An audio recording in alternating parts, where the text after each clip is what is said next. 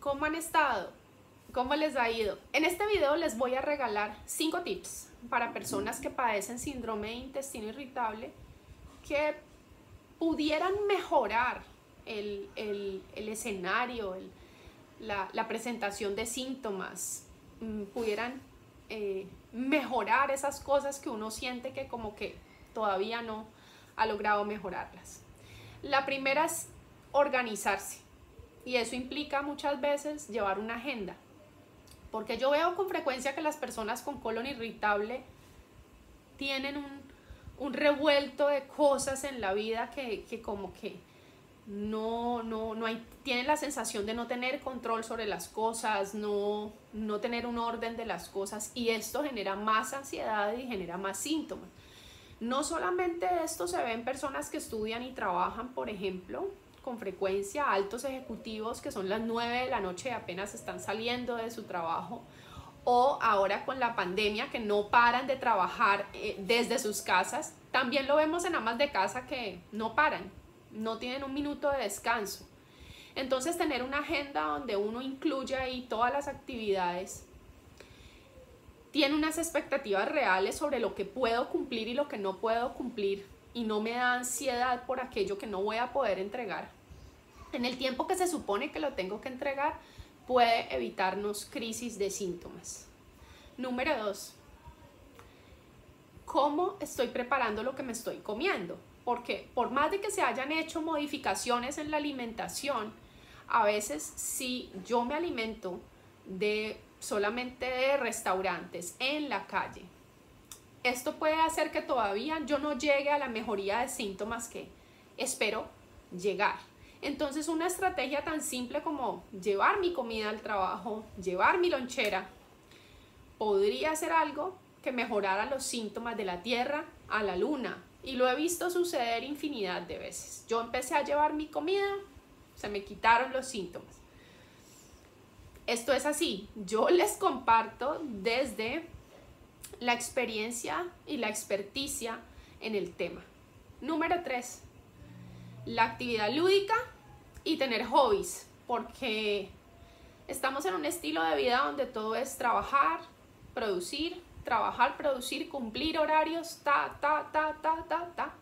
Muchas veces cuando yo les pregunto a las personas, ¿cuál es tu hobby? ¿Cuál es esa actividad que te gusta, que te produce bienestar? Entonces la respuesta casi siempre es em, ver televisión con mis hijos.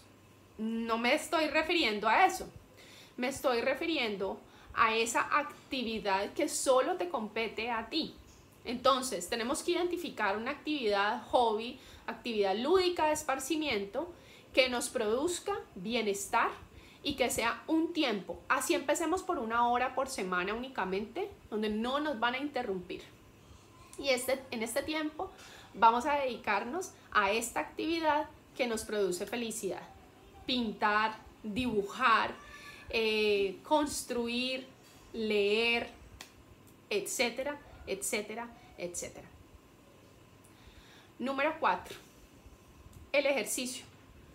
Lo hablamos todo el tiempo, eh, lo decimos todo el tiempo en videos, en publicaciones, de la importancia de practicar ejercicio y sin embargo las personas no empiezan, les cuesta todavía mucho trabajo. Entonces no esperemos a pensar que nos vamos a inscribir en un gimnasio o que vamos a empezar una rutina muy elaborada. Tenemos que hacer el deporte que nos genere felicidad. Tenemos que hacer cosas que de verdad nos gusten. Entonces, si lo tuyo no es de pronto eh, una rutina con pesas, pues empieza por algo que sí te guste. Si te gusta caminar, si te gusta correr, si te gusta montar en bicicleta, si prefieres bailar frente a un video, ese será el ejercicio que tú debes escoger y por el cual debes empezar para después más adelante empezar a introducir otras cosas, eh, resistencia, ejercicios de estiramiento, porque tenemos que empezar por metas que podamos alcanzar.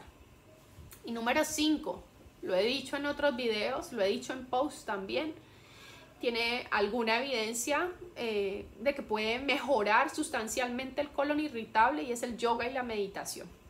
Porque son actividades que relajan, son actividades que te ayudan a, a respirar bien, son actividades que pueden equilibrar la mente.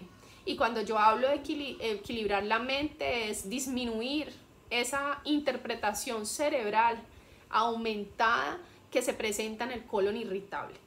Estas cinco cositas que podemos hacer, que está en nuestras manos llevarlas a cabo, que no requieren de nada extrafalario, pueden generar un cambio en el síndrome de intestino irritable de la Tierra a la Luna. Vuelvo y les digo, tan sencillo como eso. Porque no podemos seguir pensando que simplemente va a ser una pasta que va a hacer desaparecer los síntomas del todo y ya. Es algo con lo cual nosotros mismos nos tenemos que comprometer a mejorar, a modificar y definitivamente en colon irritable, como en muchas enfermedades del sistema digestivo, hay ausencia de bienestar. Y la ausencia de bienestar se relaciona con toda clase de situaciones que generan pobre calidad de vida. Aquellas que nos generen calidad de vida, nos disminuyan el estrés, nos den tiempo, nos generen felicidad, nos generen alegría, esparcimiento y disminuyan nuestros niveles de ansiedad y de preocupación, van a mejorar el colon irritable. Que tengan un excelente día. Chao, chao.